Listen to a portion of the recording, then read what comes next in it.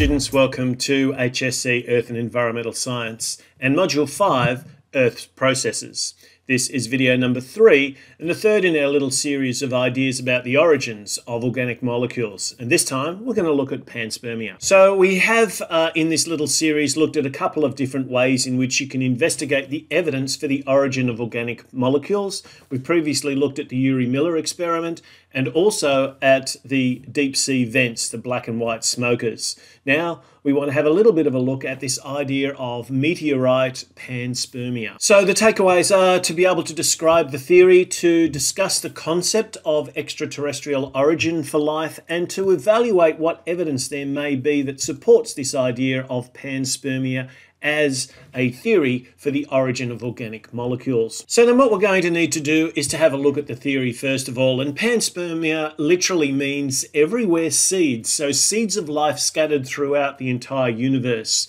And so that's the, I, I guess, the premise behind the theory of panspermia is that the origin of life wasn't necessarily on Earth. It may have been somewhere else and it's been brought to Earth uh, in some fashion, in some manner, often by a meteorite. So parts of uh, other objects in space that have made their way through uh, our atmosphere and have collided with the Earth at some time in the past, and as a result, have left um, behind some evidence of some sort of primitive life. So we are kind of focusing on the fact that it, it wouldn't have been some complex life, more likely to be something very simple like single-celled microorganisms.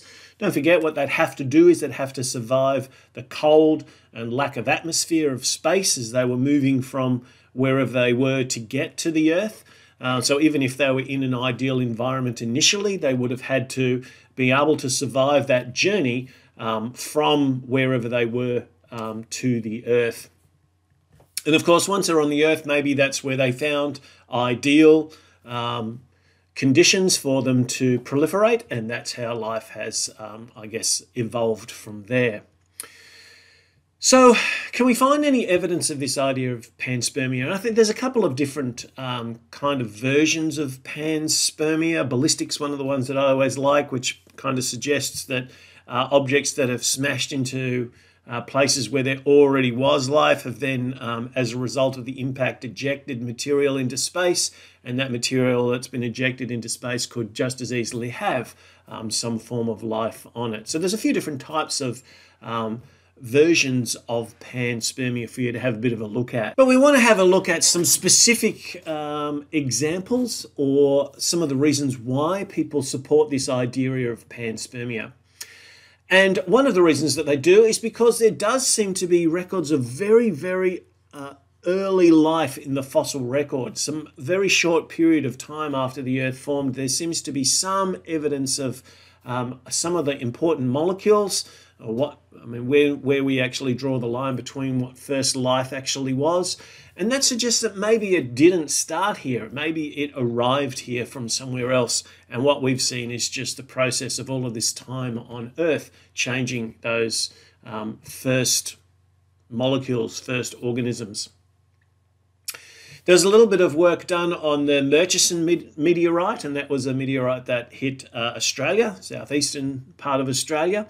And uh, when analysed, and this this was a meteorite that that um, collided back in 1969. And then subsequent um, analysis of that meteorite was that it was found to contain a number of organic compounds. Now, organic compounds are hugely diverse, but this particular um, meteorite actually contains some of the nucleobases. Now, the nucleobases are those um, bases, nitrogenous bases that are part of nucleic acids. So, um, purines, I think, was a specific type of um, organic molecules that were found uh, associated with the Murchison meteorite.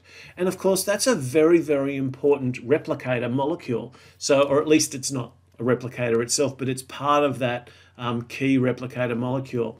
And one of the key ideas in the evolution of life is that there were replicators. There were um, substances that were able to make copies of themselves and then propagate those copies through uh, into generations.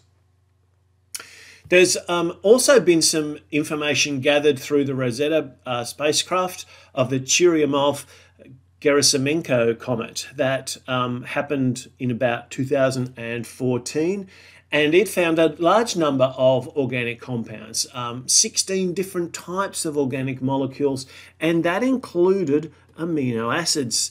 And of course, when we're talking about important organic molecules, the nucleic acids and the proteins are two of the keys. The proteins are involved even just in that, that basic structural um, building of a barrier around what would become cells. So we call that now the cell membrane. That cell membrane contains proteins, and those proteins allow not only um, rigidity and structure, but also channels for allowing material to go in and out of the cell. So proteins are very important complex organic molecules, but so are nucleic acids because nucleic acids have been involved in both the making of proteins and also um, that replication, that, that being able to make copies of themselves.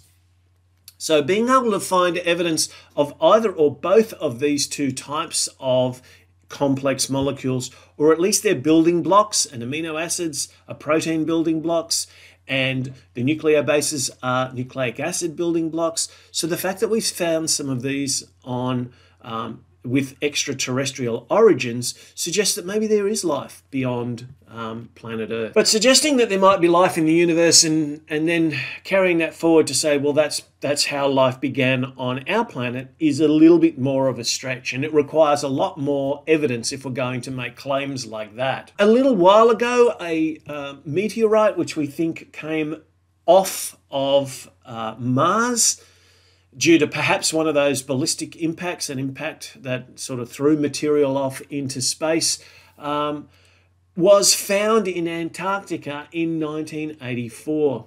And of course, um, this created um, some some really uh, interesting research because it meant we knew we had something of extraterrestrial origin, even if it was from one of our closest planets. Um, to then look and see what sort of things we can find. And one of the things that was reported in 1996 as being found was the remains of a nanobacteria, very, very small type of bacterium. So, some primitive form of life.